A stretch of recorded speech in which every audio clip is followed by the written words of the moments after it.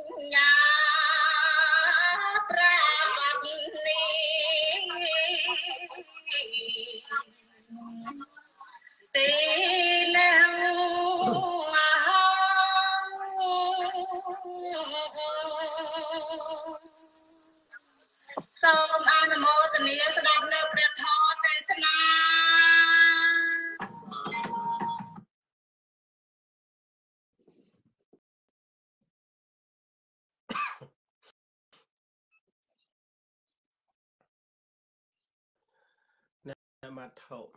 រតនតយសៈខ្ញុំព្រះករុណាសូមនមស្ការថ្វាយបង្គំគុណព្រះសម្មាសម្ពុទ្ធគុណព្រះធម៌គុណព្រះសង្ឃដោយសេចក្តីគោរពនិងដោយសេចក្តីជ្រះថ្លាដល់ពងខ្ពស់សពសពកាលទាំងពួងនមស្ការប្រធេរានុធេរៈគ្រប់ព្រះអង្គ ចម្រើនពរញាតិញោមពុទ្ធបរិស័ទគ្រប់គ្នាដែលមានសេចក្តីជ្រះថ្លាចូលស្ដាប់ពធតាមកាលឡាយទាំងពុទ្ធបរិស័ទនៅអូស្ត្រាលីនិងកម្ពុជានិងនៅសហរដ្ឋអាមេរិកហើយចូលសតុកគុណចាស់ញាតិញោមគ្រប់ព្រះអង្គគ្រប់គ្នាសម័យ នេះម៉ោង9:33នាទីព្រឹកនៅទីក្រុង Brisbane អូស្ត្រាលីម៉ោង6:30អឺម៉ោង6:33ចុះ34នាទីព្រឹកនៅប្រទេសកម្ពុជានៅអាមេរិកពេលល្ងាចបើនៅតិចសាសខានសាសជាដើមនោះម៉ោង5 34នាទីល្ងាចណា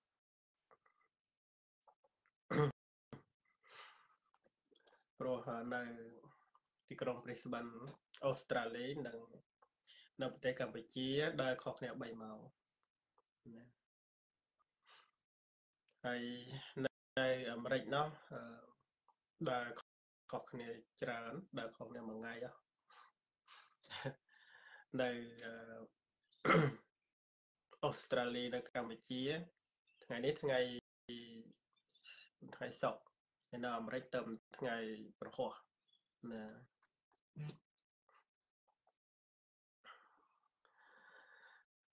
វេលាអឺព្រឹកនេះស្ថិតនៅ ក្នុងថ្ងៃ14កើតណាខែមេឆ្នាំថោះបញ្ញស័កពុទ្ធសករាជ2567ត្រូវនៅថ្ងៃសុក្រ ទី23ខែកុម្ភៈឆ្នាំ2024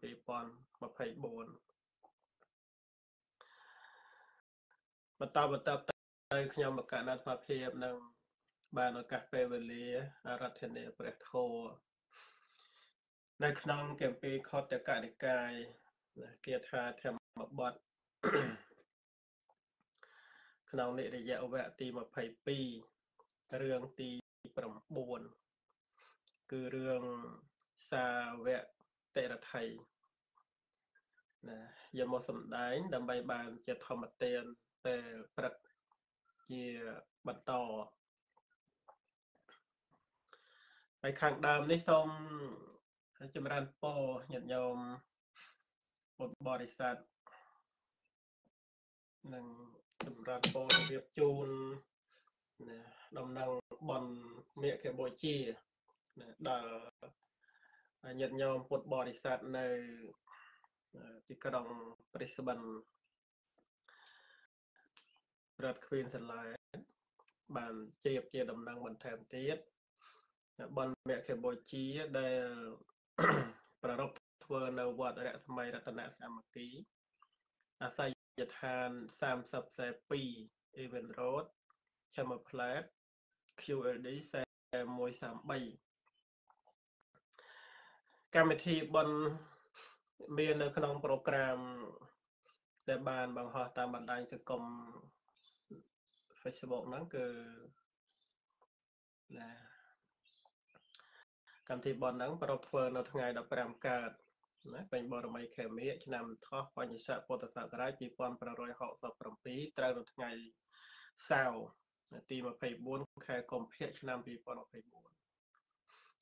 លាម៉ោង9:30នាទីព្រឹកញាតិញោមពុទ្ធបរិស័ទជ័យមកដល់វត្តម៉ោង10:00នាទីព្រឹកកិច្ចនិមន្តព្រះសង្ឃគួរចប់បណ្ឌបាតម៉ោង10:30នាទីព្រឹកកិច្ចនមស្ការសមាទានសិលនិមន្តព្រះសង្ឃចម្រើនព្រះបរិត្តនិងបូជានៅគ្រឿងក្រអូបការញីអីគ្រឿងប្រទីបបូជា ព្រះរតនត្រ័យណាប្រកធ្វើបន់មេឃបូជានោះហើយនឹងសំដែងពធទេសនាអឺញោមវេផុតប្រកេតប្រសង់ធោហែរហូតដល់ចប់កម្មវិធីបន់មេឃបូជាណាគឺធ្វើតែមួយព្រឹកថ្ងៃត្រង់ទេណាចឹងញាតិញោមដែលមានសេចក្តីជ្រះថ្លាណាមានប្រកក្តីចែងមក ធ្វើបន់នៅវត្តរស្មីរតនសាមគ្គីត្រៀមតេយ្យធោសម្រាប់ដាក់បាតប្រសង់ផងហើយនឹងត្រៀមគ្រឿងសក្ការៈមាន ប្រទីបមានផ្កាស្រស់មានគ្រឿងក្រអូបជាដើមយកមកបូជាព្រះរតនត្រ័យក្នុងកម្មវិធីបុណ្យមេកបូជាផងណាតាមសេចក្តីជ្រះថ្លារៀងរៀងខ្លួនណា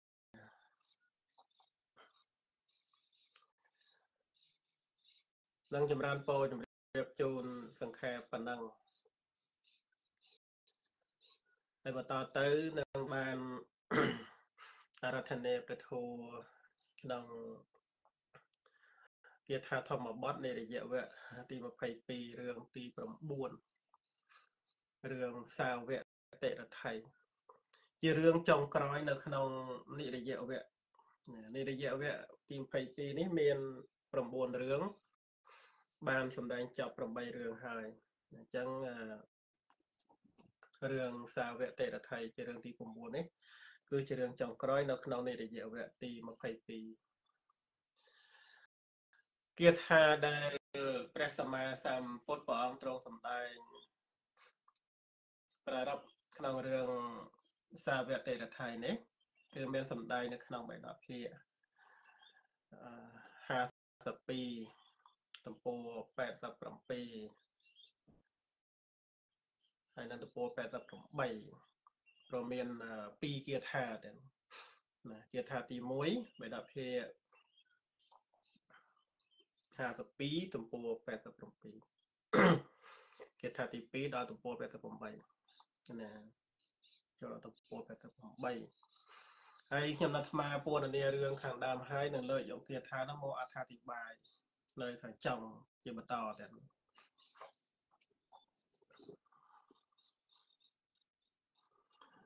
ព្រះបរមសាស្តាកាល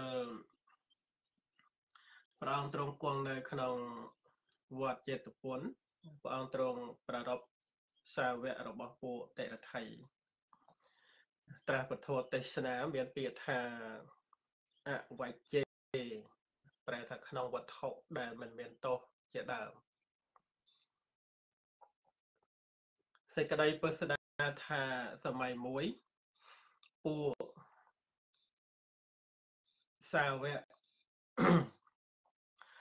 តេរដ្ឋីឃើញពួកកូនកូនរបស់ខ្លួនព្រមទាំងបពពួកកំពុងលេងជាមួយនឹងកូនរបស់ពូឧបាសកទាំងឡាយដែលជាសមត្ថធិ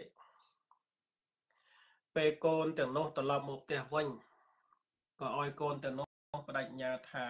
នឹងមិនឲ្យថ្វាយបង្គំពួកសមណៈសក្យពុទ្ធ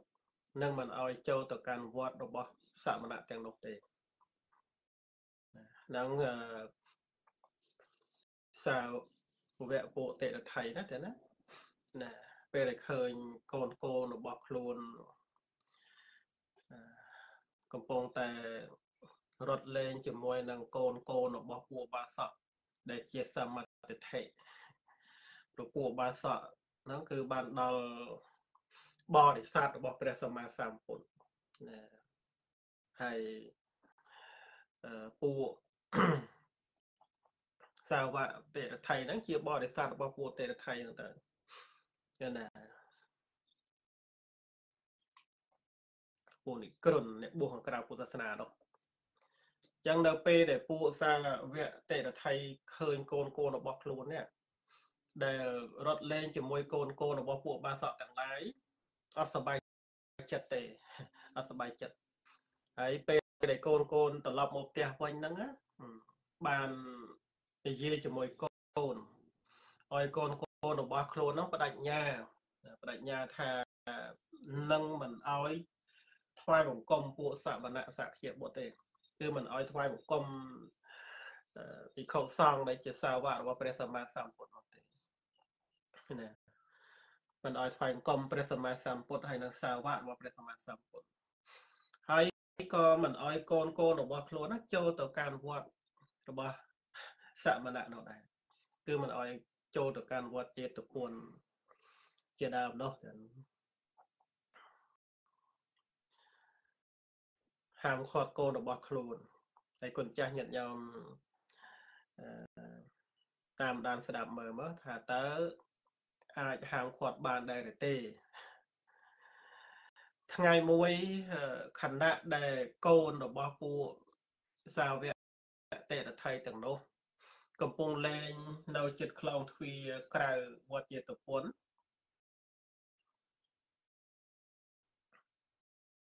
ជាមួយនឹង កូនកូនរបស់ពួកបាសកនោះក៏ស្រែកទឹកទៅណាស្រែកទឹកក្មេងក្មេងរត់លេងខាងក្រៅខ្លោងទ្វារខាងក្រៅខ្លោងទ្វារវត្តជាតពុនហ្នឹងណាពេលរត់លេងហត់ចឹងទៅក៏ស្រែកផឹកទឹកទៅណាពេលនោះពួកកូនកូនរបស់សាវកតិរដ្ឋីក៏ប្រើក្មេងរបស់ប្រើក្មេងដែលជាកូនរបស់បាសកម្នាក់ឲ្យ ចូលទៅកាន់វត្តដើម្បីរត់ទឹកផឹកណាដោយពាក្យថាអ្នកចូលទៅផឹកទឹកនៅក្នុងវត្តហើយនាំយកទឹកមកឲ្យពួកយើងខ្លះផងណាហ្នឹងពួកក្មេងៗដែលជាកូនរបស់សាវកតិរដ្ឋីហ្នឹងណាទាំងណាប្រើក្មេងដែលជាកូនរបស់បាសកពួកបាសកហ្នឹងឲ្យចូលទៅផឹកទៅក្នុងវត្តជាតិពុនហ្នឹងហើយឲ្យនាំយកទឹកហ្នឹងមកផ្ញើខ្លួនផង មកឲ្យខ្លួនផឹកផងខ្លួននៅចាំនៅខាងក្រៅនេះអត់ហ៊ានចូលទៅទេព្រោះមេត្តាបៃតារបស់ខ្លួនហ្នឹងបានហាមឃាត់ណាមិនឲ្យចូលទៅកាន់វត្តរបស់ពួកសមណៈទេមិនឲ្យចូលទៅកាន់វត្តដែលជារបស់ពួកសមណៈហ្នឹងគឺក្នុងទីនេះសំដៅយកអឺ ព្រះសម្មាសម្ពុទ្ធនិងព្រះភិក្ខុសង្ឃជាសាវកនឹងឯងព្រោះពួកតេរថៃពួកអេក្រុននោះក៏មានសមណៈរបស់គេគឺសមណៈដែលបួសក្រៅសាសនាប៉ុន្តែពាក្យថាសមណៈក្នុងទីនេះសំដៅដល់អឺសាវករបស់ព្រះសម្មាសម្ពុទ្ធហើយវត្តអារាមឬវត្តចេតពន្ធជាដើមក៏ជាកន្លែងគង់នៅរបស់ព្រះសម្មាសម្ពុទ្ធនិងសាវករបស់ព្រះអង្គនោះឯងណា ចឹងកូនកូនហ្នឹងដំបងឡើយគឺស្ដាប់តាមពាក្យម៉ែឪណាទេមិនហ៊ានចូលទៅវត្តទេណាស្រេចទឹកសុកចិត្តឲ្យកូនរបស់បាសកដែលជាបរិស័ទរបស់ព្រះសម្មាសម្ពុទ្ធហ្នឹងណាឲ្យចូលទៅផឹកទឹកនៅក្នុងវត្តទៅហើយប្រាប់ក្មេងទៅនោះឲ្យយកទឹកមកផ្ញើដល់ខ្លួនផងណា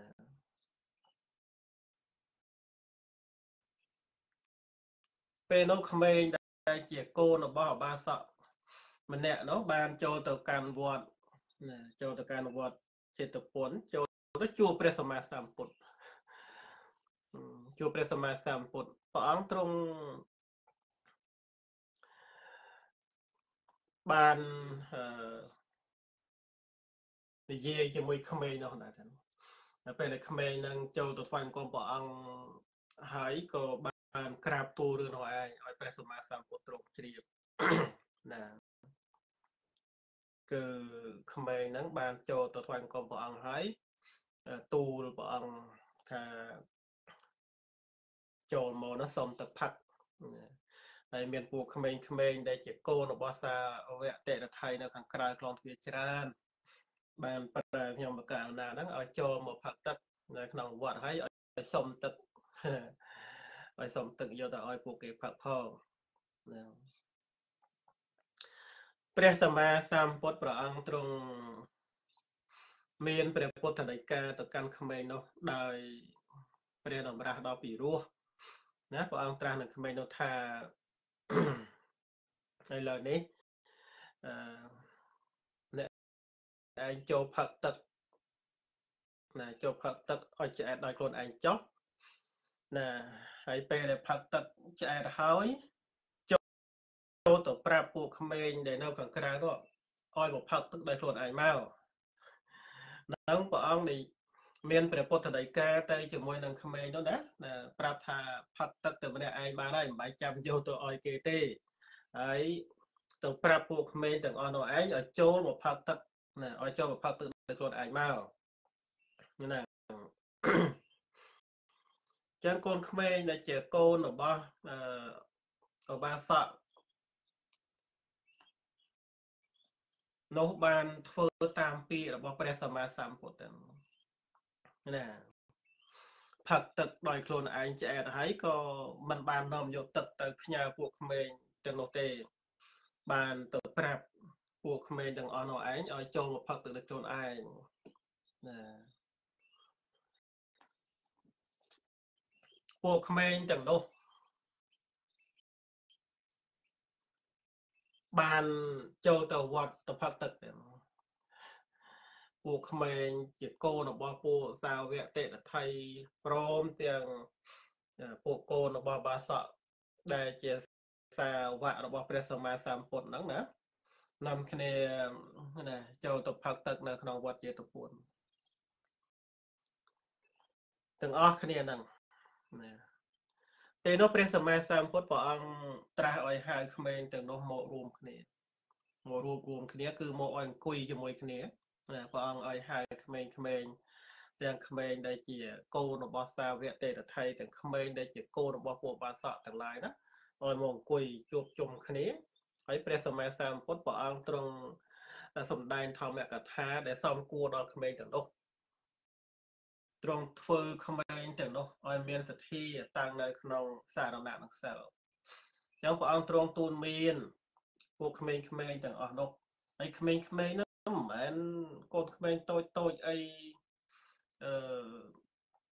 ទៅចេះដល់ទៅចេះរត់អីទេតែក្មេងនោះដឹងក្តីហើយណាណាដឹងក្តីហើយក្មេងៗទាំងអស់នោះ ចឹងព្រះសម្មាសម្ពុទ្ធព្រះអង្គទ្រង់ទូនមានព្រះអង្គទ្រង់សម្ដែងធម្មកថាតាមសំគួរដែលក្មេងៗអាចយល់បានណាណាធ្វើឲ្យក្មេងទាំងទាំងអស់នោះឯងជ្រះថ្លាក្នុងគុណព្រះរតនត្រ័យចឹងព្រះអង្គឲ្យពួកក្មេងទាំងអស់នោះឯងទាំងកូនរបស់ឧបាសកទាំងឡាយទាំងគោរបស់សាវកទេរថៃហ្នឹងព្រះអង្គឲ្យក្មេងទាំងអស់នោះឯងដល់នៅព្រះរតនត្រ័យជាទីពឹងហើយឲ្យសមាធិសិល5ណា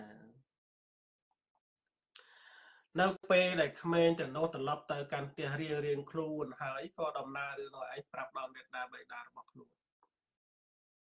ណាក្មេងៗដែលជាកូនរបស់របស់សត្វទាំងឡាយក៏ប្រាប់រឿងនោះដល់ពួកឪពុកម្ដាយរបស់គេទៅហើយ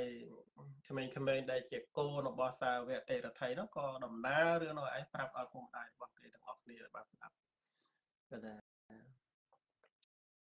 គ្រានោះមេត្តានិងបៃតារបស់ពួកក្មេងៗទាំងនោះគឺមេត្តាបៃតារបស់ពួកក្មេងៗ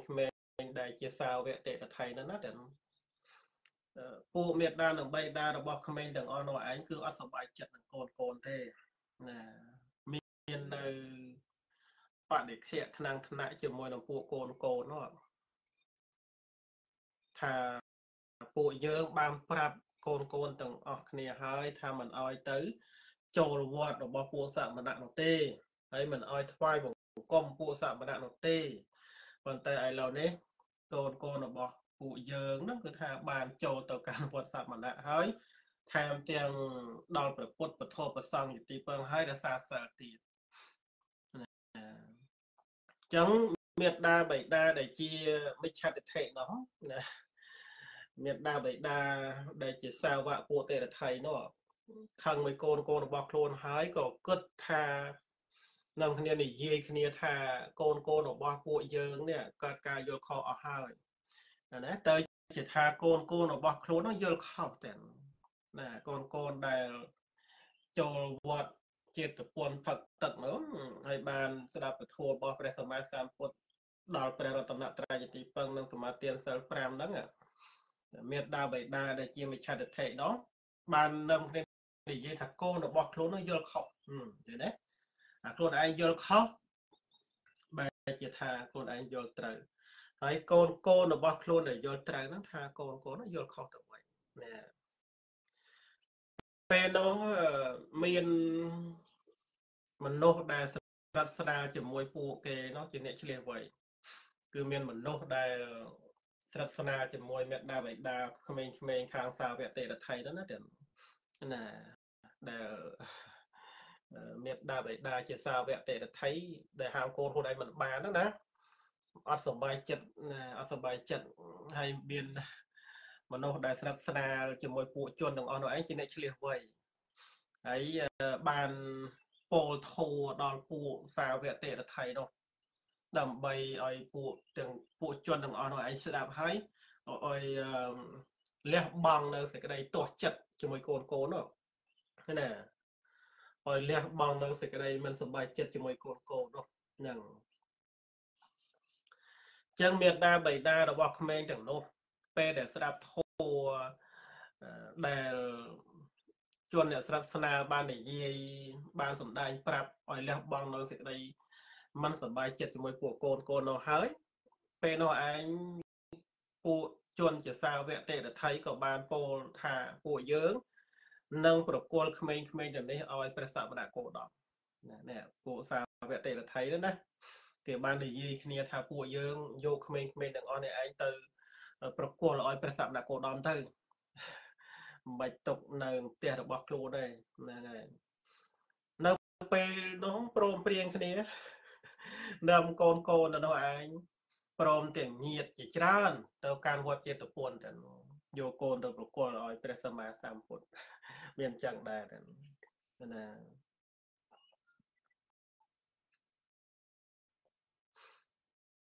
ពេលដែលយកក្មេងៗនោះទៅកាន់វត្តចេតពុនយកទៅដល់ហើយក៏ពួកខ្លួនហ្នឹងមិនបានថ្វាយអង្គម ព្រះសម្មាសម្ពុទ្ធទេព្រោះខ្លួនហ្នឹងជាសាវកពួកទេរថៃនោះរីឯកូនកូនហ្នឹងគេនាំអ្នកថ្វាយអង្គមព្រះសម្មាសម្ពុទ្ធព្រោះកូនកូនជ្រះថ្លាក្នុងគុណព្រះសម្មាសម្ពុទ្ធជ្រះថ្លាក្នុងគុណវធគុណប្រសង្ឃដល់ព្រះតនត្រ័យយទីពឹងសមាទានសិល5អញ្ចឹងពួកក្មេងទាំងអស់នោះគេនាំទៅស្វែងគុំព្រះសម្មាសម្ពុទ្ធមេដាបេដាតដល់ក៏អង្គុយនៅទីកន្លែងសំគួរចឹងតែហើយ សាវកទេរដ្ឋីទាំងនោះក៏និយាយជាមួយព្រះសម្មាសម្ពុទ្ធណាដោយពាក្យដែលខ្លួននាំកូនយកមកប្រគល់ឲ្យព្រះសមណគោដមនោះឯងណានិយាយរឿងប្រគល់កូនចំពោះព្រះសម្មាសម្ពុទ្ធប្រគល់កូនឲ្យព្រះសម្មាសម្ពុទ្ធសមណគោដមរមគ្រូចាប់សពគ្រប់ចឹងទៅ ពេលនោះព្រះសម្មាសម្ពុទ្ធព្រះអង្គទ្រង់រមិលមើលនៅបនិស័យរបស់ជនទៅនោះហើយការនឹងទ្រង់សម្ដែងនៅព្រះធម៌ព្រះអង្គបានសម្ដែងនៅព្រះគាថាពីរគាថាទៅណាព្រះអង្គសម្ដែងគាថាពីរគាថាប្ររពប្រារព្ធពួកជនដែលជាសាវកតិរដ្ឋីណាដែលយកកូនទៅប្រគល់ឲ្យព្រះសម្មាសម្ពុទ្ធគា ថាមានសម្ដែងនៅក្នុងបេដកភាគ52ទំព័រ87ហើយនៅទំព័រ88ណាមានពីរគាថាហ្នឹងគាថាទី1ព្រះអង្គទ្រង់សម្ដែងថាអវច្ចេវច្ជមតិណោវច្ចេចអវច្ជទសិណោមិច្ឆាទិដ្ឋិសមាទានីសត្តាគេឆន្តិទុក្កតੰ ប្រែថាសត្វទាំងឡាយដែល ប្រកាន់មិច្ឆាទិដ្ឋិរមែងយល់ឃើញ ក្នុងហេតុដែលអិតតោថាជាហេតុមានទោសផងយល់ឃើញក្នុងហេតុដែលមានទោសថាជាហេតុអិតតោផងសត្វទាំងនោះតែងទៅកាន់ទុគតិគាថាទី2វច្ចេញ្ចវច្ចេតោញត្វា អវច្ចេញ្ចអវច្ចេតោសម្មាទិដ្ឋិសមាទានីសត្តាគេឆន្តិសុគតੰប្រែថាសត្វទាំងឡាយដែលប្រកាន់សម្មាទិដ្ឋិដឹងរបស់មានទោសថាជារបស់មានទោសផងដឹងរបស់មិនមានទោសថាជារបស់មិនមានទោសផងសត្វទាំងនោះតែងទៅកាន់ សុគតិនឹងព្រះអង្គទ្រង់សម្ដែងពីរគាថាទៅអញ្ចឹងក្នុងព្រះអធិកថាលោកអធិប្បាយថាបណ្ដាបទទាំងនោះបទថាអវច្ចេអវច្ចេហ្នឹងគឺប្រែថាក្នុងវត្ថុដែលមិនមានទោសវត្ថុដែលមិនមានទោសនេះគឺបានដល់សម្មាទិដ្ឋិដែលមានវត្ថុ10និងធัวដែលជាឧបនិស្ស័យនៃសម្មាទិដ្ឋិ ណាសម្មាទិដ្ឋិដែលមានវត្ថុ10ហ្នឹងគុណចាស់ញាតិញោមអ្នកធ្លាប់សិក្សាអាចចេះចាំបានទៅណាហៅថាតសៈវត្ថុសម្មាទិដ្ឋិណាការយល់ត្រូវនៅក្នុងវត្ថុ10យ៉ាងណាទី1គឺអដ្ឋិទិនណាយល់ឃើញថាទានដែលឲ្យហើយគឺមានផល ទី2អដ្ឋិយិដ្ឋាំងយល់ឃើញថាការបូជាធំមានផលទី3អដ្ឋិហុតាំងយល់ឃើញថាការបូជាតូចមានផលទី4អដ្ឋិសុគតតុកតាមណាំងកម្មណាំងផលាំងវិបាកោយល់ឃើញថាផលវិបាករបស់កម្មដែលសត្វធ្វើល្អធ្វើអាក្រក់មានទី5អដ្ឋិអយ៉ាងលោកោយល់ឃើញថាសត្វដែលមក កើតក្នុងលោកនេះមាន គឺយល់ឃើញលោកនេះមាន ទី6អដ្ឋិបរលោកោយល់ឃើញថាលោកដតីមានឬក៏យល់ឃើញថាសត្វដែលស្លាប់ពីលោកនេះទៅកើតនៅក្នុងលោកដតីហ្នឹងគឺមានអានឹងយល់ឃើញដោយការសន្មត់ណាសត្វពេលសត្វហ្នឹងគឺដោយការសន្មត់ហ្នឹងណាណាស្លាប់ទៅហ្នឹងគឺទៅកើតក្នុងលោកខាងមុខទៀតដោយមានកម្មអយផលអ្នកធ្វើល្អទៅតាម ផលល្អទៅអ្នកធ្វើល្អទៅកាន់សុគតិភពអ្នកធ្វើអាក្រក់ទៅកាន់ទុគតិភពចឹងទៅនឹងយកឃើញនៅលោកខាងមុខនោះគឺមានទី7អធិមេត្តាយល់ឃើញថាមេត្តាមានគុណណាទី8អធិបេតាយល់ឃើញថាបៃតាមានគុណទី9អដ្ឋិសត្តាឧបបត្តិកាយល់ឃើញថាពួកសត្វជាឧបបត្តិកកំណើតមាន មានពួកទេវតាជាដើមទី10អធិលោកេសមណព្រាមណាសមគតាសម្មាបរិបណ្ណាយល់ឃើញថាពួកសមណព្រាមក្នុងលោកជាអ្នកប្រព្រឹត្តល្អប្រតិបត្តិត្រឹមត្រូវដែលធ្វើឲ្យជាច្បាស់នៅលោកនេះនៅលោកខាងមុខដោយប្រាជ្ញាដ៏ឧត្តមដោយខ្លួនឯងហើយសំដែងនៅពធប្រាប់អ្នកដតីគឺមានណានេះគឺជាទិសវត្ថុសមតិថិ ដែលហៅថាសមតិថិមានវត្ថុ10សមតិថិដែលមានវត្ថុ10នេះឯងដែលលោកឲ្យឈ្មោះថាជាវត្ថុមិនមានទោសហើយនឹងធัวដែលជាឧបនិស្ស័យនៃសមតិថិធัวដែលនាំឲ្យកើតសមតិថិអីដូចជាបរតោខោសៈអីស្ដាប់អ្នកដតីណាស្ដាប់ ការសំដែងស្ដាប់ការនិយាយរបស់អ្នកដតីមានការប្រកាសធម៌សំដែងធម៌ជាដើមហើយទី2ហ្នឹងគឺនិយាយអំពីយោនិសមនេសិការៈណាធម៌គឺការពិចារណាពិចារណាធัวដោយហេតុផលដោយអបាយនៃហេតុផលដោយអបាយត្រឹមត្រូវហៅថាយោនិសមនេសិការៈណាពិចារណាដោយអបាយត្រឹមត្រូវហ្នឹងការស្ដាប់ អ្នកដតីនឹងមួយការពិចារណាដោយបែបត្រឹមត្រូវនឹងមួយក៏ជាជាហេតុនៃការសមត្ថិជាហេតុនៃការយល់ត្រូវហើយនឹងធម៌ដតីទៀតដែលជាឧបនិស្ស័យនៃសមត្ថិទាំងអស់នោះឯងដែលហៅថាវត្ថុមិនមានទុកណាហើយបទថាវជ្ជមតិណោណាវជ្ជមតិណោមានន័យថា មានការឃើញ ក្នុងវត្ថុដែលមានទោសបានដល់កើតសេចក្តីយល់ឃើញថានេះមានទោសវត្ថុនេះមានទោសណាប៉ុន្តែសត្វទាំងនោះ មានការឃើញថាទោសមិនមានក្នុងវត្ថុដែលមានទោសគឺមិច្ឆាទិដ្ឋិដែលមានវត្ថុ10ដែលផ្ទុយគ្នានេះឃើញទេអញ្ចឹងពួកសាវកទេរថៃនោះគេយល់ឃើញក្នុងវត្ថុដែលមិនមានទោស ថាជាវត្ថុដែលមានទោសយល់ឃើញ ក្នុងវត្ថុដែលមានទោសថាជាវត្ថុដែលមិនមានទោសទៅវិញគឺណាដឹងគេយល់ផ្ទុយគ្នាអញ្ចឹងតែផ្ទុយនេះអញ្ចឹងហើយមិច្ឆាទិដ្ឋិដែលមានវត្ថុ10និងធរដែលជាឧបនិស្ស័យនៃមិច្ឆាទិដ្ឋិនោះណាសត្វទាំងនោះឈ្មោះថាជាអ្នកប្រកាន់នៅមិច្ឆាទិដ្ឋិព្រោះប្រកាន់មមក្នុងមិច្ឆាទិដ្ឋិនោះគឺដឹងវត្ថុដែលមិនមានទោសថាមានទោស ដឹងវត្ថុដែលមានទោសថាมันមានទោសទៅវិញអញ្ចឹងបុគ្គលនោះគឺទៅកាន់ទុគតិហើយណាទៅកាន់ទុគតិហើយព្រោះយល់ផ្ទុយណាយល់ផ្ទុយគ្នាណាអញ្ចឹងមិច្ឆាទិដ្ឋិដែលមានវត្ថុ10ផ្ទុយគ្នាអំពីសមត្ថិមានវត្ថុ10បាវណាមិច្ឆាទិដ្ឋិដែលមានវត្ថុ10ណាការយល់ខុសដែលមានវត្ថុ10នោះទី1ណដ្ឋិទានដែរយល់ឃើញតែការធ្វើទានមិនមានផលទេ ទី2ណដ្ឋិយិដ្ឋាំងយល់ឃើញដល់ការបូជាធំមិនមានផលទី3ណដ្ឋិហុតាំងយល់ឃើញថាការបូជាតូចមិនមានផល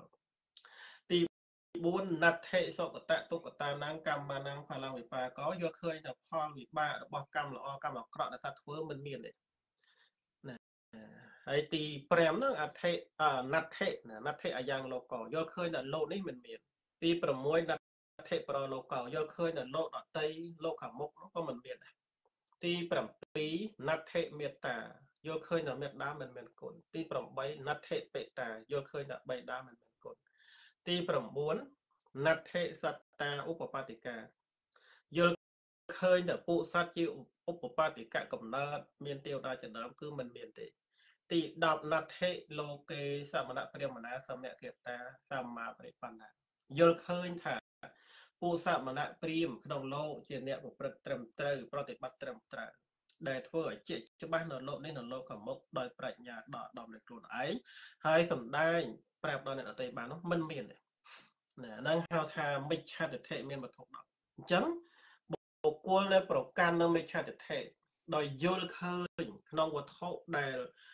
มันមានទោសថាមានទោសក្នុងវត្ថុដែលមានទោសថាมันមានទោសទៅវិញបុគ្គលហ្នឹងគឺ កាន់ទុគតិហើយណានៅនៅក្នុងសេចក្តីនៃព្រះគាថាទី1ហ្នឹងណាដែលអឺបានលើកឡើងមកទាំងលេខទាំងប្រែបាញ់បាញ់ហើយណាអធិប្បាយឲ្យគុណចាស់ញាតិញោមបានយល់ច្បាស់នៅក្នុងសេចក្តីហ្នឹងទៅណាគេថាទី1បញ្ជាក់ បន្ល័យបន្ថែមទៀតដើម្បីបញ្ចប់ការអធិប្បាយគេថាទី1នឹងចូលទៅគេថាទី2ទៀតណាគេថាទី1អវច្ចេវច្ជមតិណោវច្ចេចៈអវច្ចេទសេណោ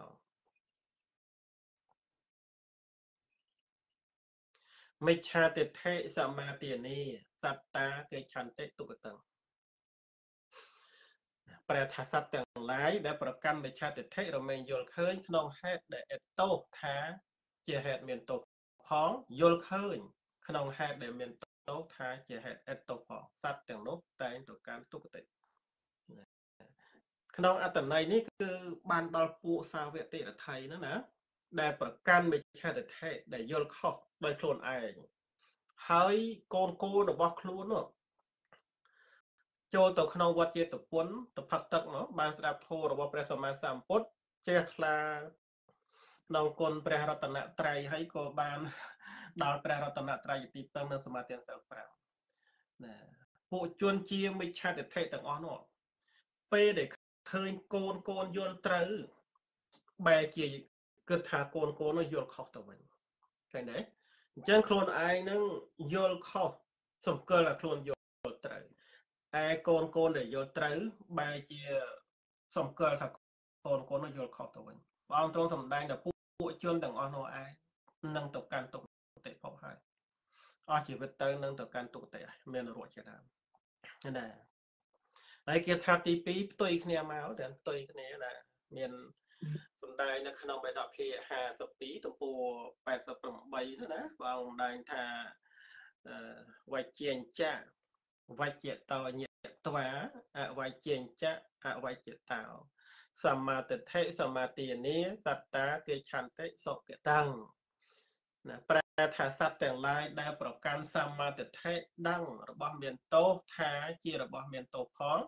ដឹងរបស់មិនមានទោសថាជារបស់មិនមានទោសផងជួនទាំងនោះតែងទៅកាន់សុគតិឃើញទេចឹងបុគ្គលដែលមាននៅសមត្ថភាពយល់ឃើញត្រូវណា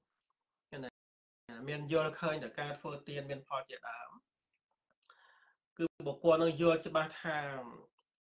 អឺវត្ថុដែលមានទោសគឺដឹងច្បាស់ថាមានទោសអញ្ចឹងហ្មងណាយល់ឃើញច្បាស់អញ្ចឹងយល់ឃើញតែការដែលប្រព្រឹត្តអាក្រក់ការយល់ឃើញខុសជាមិច្ឆតិថិហ្នឹងគឺជាវត្ថុដែលមានទោសហើយការយល់អញ្ចឹងមានទោសត្រូវទៅកាន់ទុគតិភពអញ្ចឹងបុគ្គលដែលយល់ឃើញនៅក្នុងរឿងទាំងអស់ហ្នឹងច្បាស់ ហើយយល់ឃើញនៅវត្ថុដែលមិនមានទោសថាមិនមានទោសណាយល់ឃើញថាការដែលយល់ឃើញត្រូវមានការយល់ឃើញនៃការធ្វើទានមិនផលជាដើមនោះគឺជាការយល់ឃើញត្រឹមត្រូវមិនមានទោសទេឃើញទេអញ្ចឹងបុគ្គលដែលយល់ឃើញត្រឹមត្រូវយ៉ាងហ្នឹងណាយើងអាចនិយាយឲ្យស្រួលស្ដាប់ថាយល់ឃើញតែការប្រព្រឹត្តអាក្រក់គឺទទួលបានផលអាក្រក់ការប្រព្រឹត្តល្អទទួលបានផលល្អគឺយល់ឃើញត្រឹមត្រូវអញ្ចឹងនោះ បុគ្គលនោះឯងរមែងទៅកាន់សុគតិភពណាអស់ជីវិតទៅ បានទៅកាន់សុគតិភពមាន កាមាវចរសួរ6ជាន់ណាមួយជាដើមអញ្ចឹងទៅនឹងជាសេចក្តីអធិប្បាយគាថាទី2ហ្នឹងមិនអធិប្បាយឲ្យច្រើនទេព្រោះផ្ទុយពីគាថាទី1យើងស្ដាប់សង្ខេបប៉ុណ្ណឹងទៅអាចយល់បានដែរដែលបុគ្គលដែលមានសមត្ថភាពយល់ឃើញត្រឹមត្រូវក្នុងវត្ថុដែលមានទោសថាមានទោសក្នុងវត្ថុដែលមិនមានទោសថាមិនមានទោស ហើយជាអ្នកដែលប្រព្រឹត្តល្អដោយកាយដោយវិចារដោយចិត្តព្យាយាមលះបង់នៅអំពើអាក្រក់ព្យាយាមធ្វើនៅអំពើល្អណាជនទាំងអស់នោះឯងពេលដែលអស់ជីវិតទៅ តែងបានទៅកម្មសុគតិភពចឹងទៅនឹងអធិប្បាយប៉ុណ្ណឹងណាទៅណាក្នុងការដែលព្រះសម្មាសម្ពុទ្ធព្រះអង្គទ្រង់សម្ដែងនៅពធនឹងចប់ ជួនទាំងនោះតាំងនៅក្នុងសារណៈសារណៈ3ការបានស្ដាប់ពធរតីទៀតក៏បានតាំងនៅក្នុងសតបតិផលចឹងនៅក្នុងសេចក្តីនឹងបញ្ជាក់ឲ្យឃើញថាពួកជនជាមិច្ឆតិថិដែលជាសាវកតិរដ្ឋ័យនោះណាពេលដែលបានស្ដាប់ប្រធមរបស់ព្រះសម្មាសម្ពុទ្ធចប់មាននៅសេចក្តីជ្រះថ្លាក្នុងគុណព្រះរតនត្រ័យលះបង់នៅការយល់ខុសមកជាអ្នកយល់ឃើញត្រូវហើយក៏ដល់ព្រះរតនត្រ័យជាទីពឹង ពេលក្រោយមកក៏បានស្ដាប់ពធទេសនាទៀតបានសម្រេចសតាបត្តិនិសតាបត្តិផលអញ្ចឹងទៅពធទេសនាមានប្រយោជន៍ដល់អ្នកស្ដាប់យ៉ាងនេះឯងណារឿងសាវករបស់ពួកតិរដ្ឋីដែលជារឿងទី9នៅក្នុងនិរយវគ្គទី22ហើយក៏ជារឿងចុងក្រោយនៅក្នុងនិរយវគ្គទី22ចប់ដោយបរិបូរណ៍ប៉ុណ្ណឹងទៅហើយ មុននឹងបញ្ចប់ការ live ខ្ញុំនៅថ្មភាពសូមបញ្ជាក់រឿងទាំង9ដែលមាននៅក្នុងនិរយវគ្គទី22នេះទី1រឿងនាងសុនរឿងនាងព្រះពាជិកាឈ្មោះសុនតរីទី2រឿងសัตว์អ្នកត្រូវទុកបៀតបៀនទី3រឿងពិខុអ្នកនៅត្រើយរឿងពិខុអ្នកនៅក្បែរឆ្នេរស្ទឹងវគុមទីណាទី 4រឿងខេមកៈសទ្ធិបុត្រទី5រឿងពិខុប្រដៅក្រទី6រឿងស្ត្រីប្រច័នទី7រឿងអកិន្តកពិខុទី8រឿងនិក្រុនទី9រឿងសាវកតិអថៃហើយគាថាដែលប្រជិនអាស្រ័យព្រះអង្គទ្រង់សម្ដែង ប្ររពក្នុងរឿងទាំង9នៅក្នុងនិរយវគ្គទី22នេះគឺមានសម្ដែងនៅក្នុងបេដកភាគ52ទំព័រ85ដល់ទំព័រ88 ចឹងចប់និរយវគ្គទី22ដោយបរិបូរនៅវេលាព្រឹកនេះដែរសូមប្រកេនបន់ដល់ព្រះថេរានុថេរៈគ្រប់ព្រះអង្គជួនបន់ឲ្យញាតិញោមពុទ្ធបរិស័ទគ្រប់គ្នាជ្រះថ្លាអនុមោទនាបានសម្រេចបុណ្យធម្មទាននៅវេលាព្រឹកនេះគ្រប់ព្រះអង្គគ្រប់គ្នាសូមអនុមោទនាសូមលាគុណចាស់ញាតិញោមគ្រប់ព្រះអង្គគ្រប់គ្នាប៉ុណ្ណឹងប្រកេនពរជូនពរគ្រប់ព្រះអង្គគ្រប់គ្នា អនុមោទនា